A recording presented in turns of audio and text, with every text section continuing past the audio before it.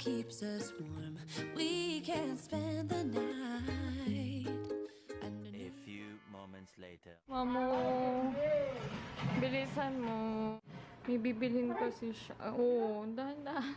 Tumunog yung buto mo. Ate Inday, thank you so much. Alam namin yung laman nito. Favorite ni Davi. Labisan mo ah.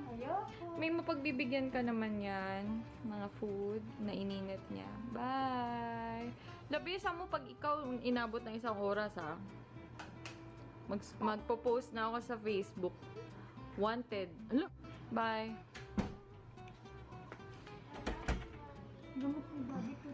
Oo nga. Love you. Bilis mo. Dali na kayo para makauwi ka na.